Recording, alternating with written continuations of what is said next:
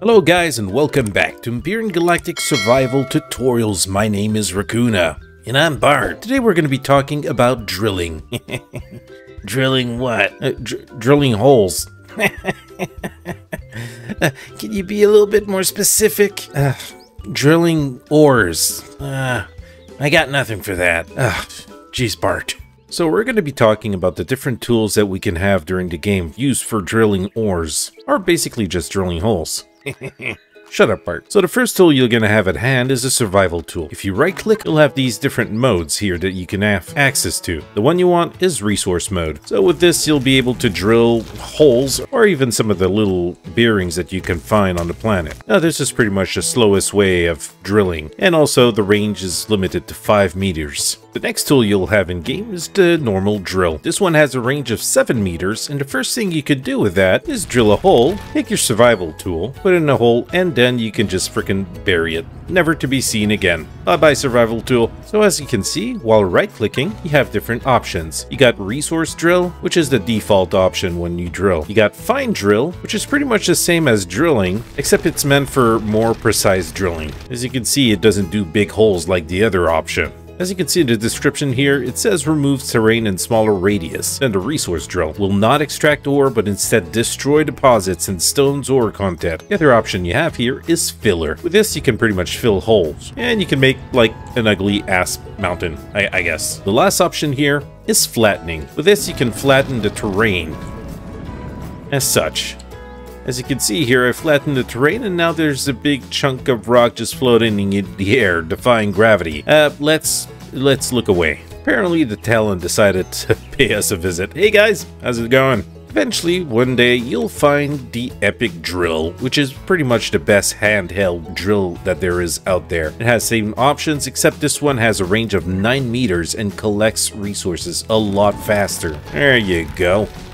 Oh, Rakoona, uh, that is thrilling. Yeah, I know. I am just about to get to the HVs. Eventually, you'll be able to bring in an HV. This one's got a couple of drills on it. It's going to be a hell of a lot more efficient to collect resources. Now, to be able to collect the resources, you need a container controller for ore and wood. Above your toolbar, you got a percentage to see how much the container is filled. As you can see, drilling is a lot faster and you'll be able to collect a lot more resources at a higher speed. As I'm collecting resources, you can see your harvest controller filling up.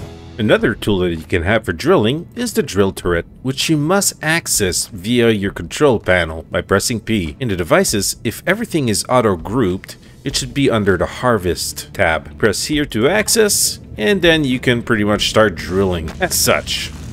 Now if you have this drill installed on the side there pointing down, you'll be able to drill straight down all the way to the resource. And this drill has a range of 50 meters, so you'll be able to get pretty far with that. And the next best thing for an HV are the drill modules tier 2. They are like the other drills tier 1, but they drill a lot faster and they can go farther. So it gives you more reach and at the same time you'll be able to collect resources a lot faster. Now yeah I know, overload, I didn't put enough generators to support these laser drills on that puppy. That sounds really fun, Rakoona, Can I drive one? No.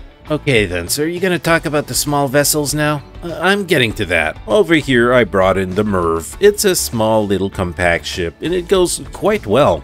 Unlike the HV, the only thing that the Merv can have are the tier 2 drill modules. They go pretty much the same speed and they have the same range. The only thing is with this little puppy, you'll be able to also collect some resources out in space. I mean, you could do it with the HV except you're going to be moving at a whopping 3 meters per second and it's not super fast. Yeah, see that little puppy go. I gotta tell you, it's a lot more easier collecting a lot of resources in space than it is on the ground. The next best thing would be having a CV if we go in the pilot seat, first of all I'm going to show you the drill turret. Again, you go in your devices, go select drill turret and access. Now this one has a range of 150 meter and will drill extremely fast, collecting a huge radius of ores.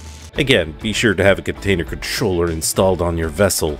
And alas, the fastest way to collect and the best tool to use is the drill modules for CVs. Now, this puppy has 9 installed on it, so it's going to be collecting super fast. It's to be able to drill through this freaking asteroid in a matter of seconds. I'm starting to think that the drill turret was going a little bit faster. At least with this, you'll be able to continue drilling while moving your ship around. You can't do that while you're inside the turret. Now, of course, when playing Empyrion, you're going to need a lot and a lot of resources, a lot of ores you'll be able to convert into ingots or powder or whatever the hell you'll need with it. So it's good to have a reliable CV that can do the job quickly.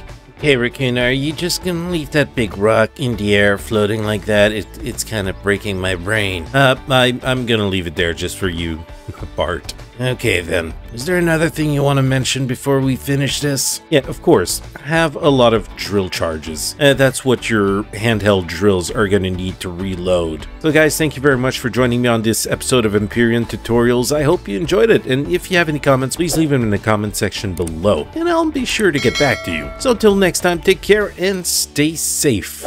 Rakoona out.